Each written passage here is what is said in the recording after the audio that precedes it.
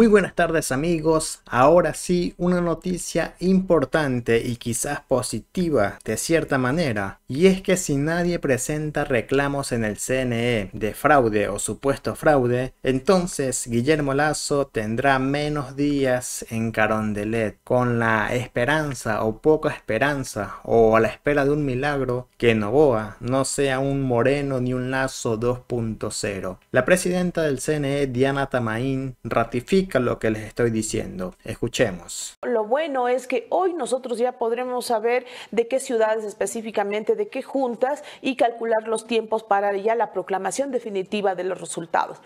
Si es que no hubiese impugnaciones, bueno, de presidente ya la mm, candidata González aceptó, le felicitó y eso se puede entender de que no pondrán poner recursos. Ayuda muchísimo, pero para asambleístas nacionales y asambleístas en el exterior tendremos que esperar que las organizaciones políticas, eh, ver que si hacen uso de ese derecho que tienen de presentar o no los recursos em, y, procesar aquello. Todo va a depender de eso, no depende del Consejo Nacional Electoral, sino de las organizaciones políticas que pueden poner recursos. Sí es cierto lo que decíamos, entre menos impugnaciones más rápido se va Guillermo se proclaman resultados definitivos para decir quiénes conformarán la Asamblea Nacional eh, y que nos falta completar asambleístas del exterior, que es lo correcto y lo políticamente correcto decir. Por otra parte, amigos, Carlos Rabascal menciona que él se va a presentar en el 2025 con su propio proyecto político. Y es que este año y seis meses se va a pasar volando, se va a pasar. Y si Daniel Novoa solamente quería tener ese ego de ser presidente del Ecuador, quizás ya no lo veamos en las papeletas del 2025. Aunque eso, amigos, va a estar muy difícil porque seguramente él no pensará estar solamente un año y seis meses. Y a pesar de esto, amigos, yo no descarto que le sigan echando la culpa a Correa. Ahora, les voy a poner las palabras de Carlos Rabascal.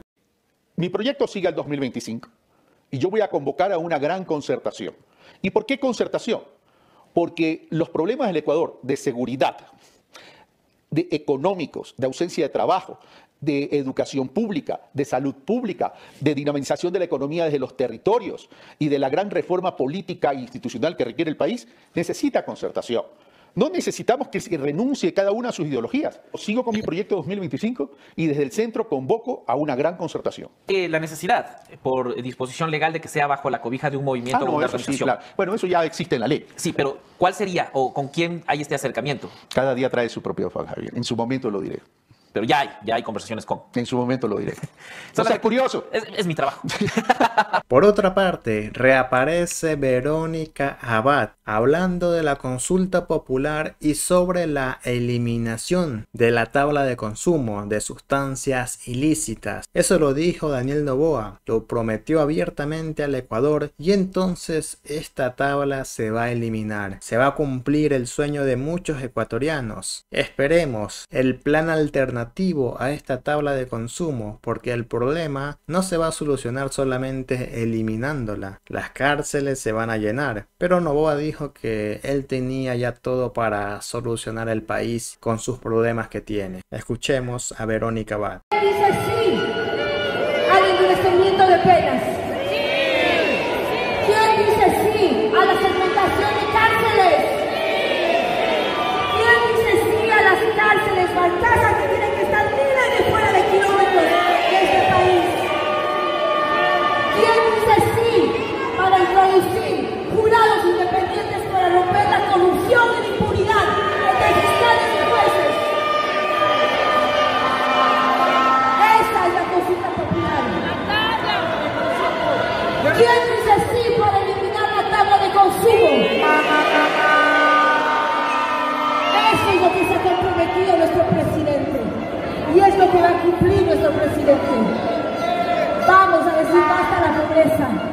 Vamos a decir sí al empleo, sí a las oportunidades, sí a la inversión, sí al desarrollo.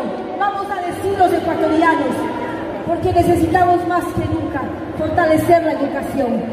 La institución pública tiene que ser en realidad el apoyo de las familias para educar a nuestros hijos.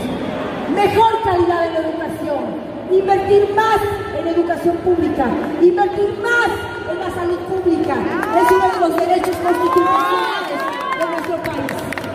Nadie se los va a quitar. Nadie se los va a engañar.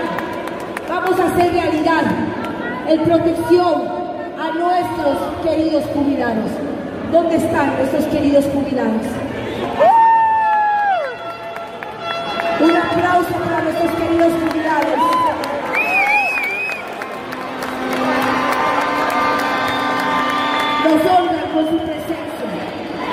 Y bueno amigos, como video final les quiero poner las palabras de Guillermo Lazo. Y aquí quiero hablarles a las personas que votaron por Lazo y por Novoa. Lazo, la persona que votaron en las elecciones pasadas, dice que a Novoa le va a dejar un país servido, con un crecimiento económico. Entonces, no se entiende cómo así Lazo hasta el último de sus días, con su círculo cercano, culpaba a Correa de todo. Bueno, escuche usted mismo, pero al final de cuentas, va a poder decir quién es el mentiroso, si Lazo o Novoa, o en últimas circunstancias le echan la culpa otra vez a Correa. Esto dijo Lazo. Empiezo esta trascendente jornada electoral con un saludo y un abrazo especial al gran pueblo ecuatoriano y también a nuestros compatriotas en el exterior. Hago un llamado al pueblo ecuatoriano para tener una, una jornada cívica en paz, con amor por nuestra nación, pensando en nuestras familias. Queridos compatriotas, el próximo presidente recibirá un Ecuador con su democracia fortalecida y la economía en crecimiento, con la institucionalidad recuperada y reposicionado internacionalmente el país. Hay retos y tareas pendientes, pero mi gobierno ha trazado la ruta para avanzar firmemente por la senda del desarrollo, el bienestar y la prosperidad. Mi llamado a los 13 millones y medio de votantes para que sufraguen responsablemente.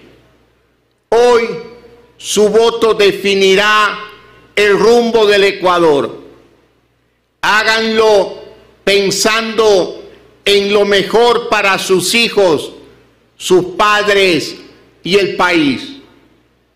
En elecciones libres como estas, con amor patrio y en unidad de propósitos, todos aportan al progreso de la nación. Tengan la plena certeza de que como gobierno profundamente demócrata... Bueno amigos, eso ha sido todo por este video. Más tarde nos estaremos viendo. Saludos.